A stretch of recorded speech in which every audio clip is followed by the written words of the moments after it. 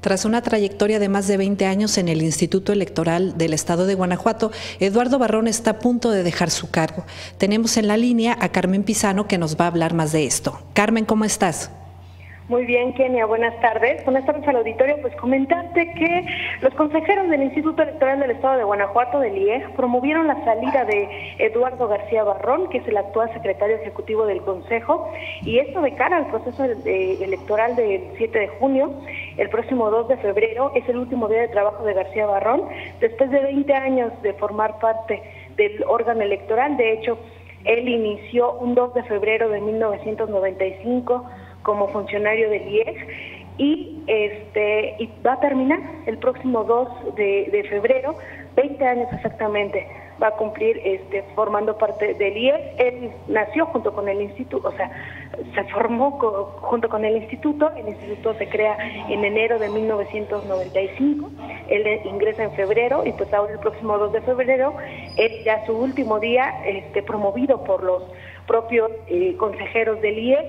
Y aunque con el cambio de consejo en octubre del 2014, este Eduardo García Barron ya había presentado su renuncia, fue Mauricio Guzmán Yáñez, el actual presidente del Consejo, quien lo convenció de quedarse en el cargo, eh, porque bueno, su, trayectoria lo, lo, ampara, ¿no? Para también este, organizar el proceso del 7 de junio pero finalmente los seis nuevos consejeros electorales promovieron su salida del órgano y bueno, ya finalmente el, viernes se hace oficial en la sesión del Consejo y el próximo lunes sería su último día. Mauricio Guzmán Yáñez fue quien confirmó la salida de García Barrón del instituto y que su último día será el 2 de febrero. Tenemos un inserto de Mauricio Guzmán Yáñez, si te parece lo escuchamos.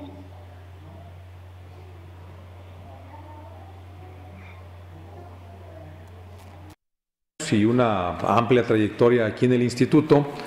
Sin embargo, bueno, cuando tomamos posesión los actuales consejeros, el licenciado Eduardo García Barrón nos manifestó su interés eh, por retirarse, nos eh, planteó su renuncia. Le pedí yo al licenciado Eduardo García Barrón que, bueno, que nos apoyara, que permaneciera en tanto nos eh, organizábamos, arrancábamos en el proceso. Y bueno, el asunto se planteó con posterioridad, los consejeros estuvieron de acuerdo y estimamos que es buen momento para hacer un cambio en esta área y hay un, hay un acuerdo mutuo entre el licenciado Eduardo García Barrón y los consejeros, obviamente incluyendo a su servidor. Adelante, Carmen. Y bueno, pues eh, en entrevista esta mañana con Mauricio Guzmán comentó que se analiza quién pudiera ocupar la Secretaría Ejecutiva, primero como encargado de despacho, porque el trabajo no se puede detener en el órgano electoral. Eh, te, repito, estamos a cuatro meses del de, día de la jornada, que es el 7 de junio, y este, van a van a nombrar un, un, encargado de despacho y después vendría ya el titular de esta Secretaría Ejecutiva. Como encargado de despacho podría quedar el actual director de la unidad jurídica, que es Juan Carlos Cano Martínez. Y bueno, pues esta es la nueva de los consejeros. Eh, finalmente promueven esta salida de Eduardo García Barrón de el Instituto Electoral del Estado de Guanajuato, pero si me permites, Kenia, también comentarte que hoy nos confirman algo, eh, si, ustedes recuerdan, las últimas semanas, de las últimas sesiones del instituto, se aprobaron la creación de seis nuevas plazas para asistentes de los consejeros. Pero, bueno, pues ahora eh, nos confirman que los consejeros ya tenían su asistente, lo tenían contratado con este, contratos eventuales de manera temporal desde octubre, desde el día que llegaron, ellos pidieron asistente y lo tenían con contratos eventuales. Lo único que pasó en enero fue que se creó la plaza para ellos. Ellos estaban ganando con contrato eventual 15 mil pesos mensuales brutos. Ahora ya con la plaza están ganando 30 mil pesos mensuales.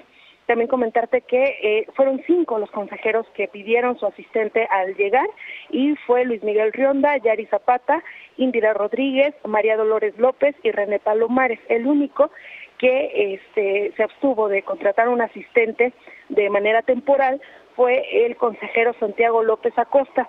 Y bueno, ya en enero, ya ahora los seis ya tienen a su, a su su propio asistente, que ahora ya está como bajo el modelo de asesor y por eso gana 30 mil pesos mensuales de manera bruta.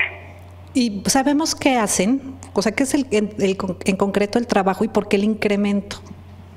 Bueno, porque antes estaban bajo la figura de asistentes, ahora ya están como asesores y con la reestructura del Instituto Electoral del Estado de Guanajuato, pues ahora los consejeros electorales tienen que participar en comisiones. Este, presiden algunas de ellas, en algunas otras son integrantes y bueno, para llevar el trabajo de las comisiones, que es algo que no tenían los anteriores consejeros eh, ciudadanos, pues para eso ellos piden un asistente para que les ayuden a llevar el trabajo de las comisiones, a realizar investigaciones, a elaborar dictámenes, en fin, eh, que, que, los asistan en, en, todo el trabajo que tienen que realizar dentro de las comisiones del instituto.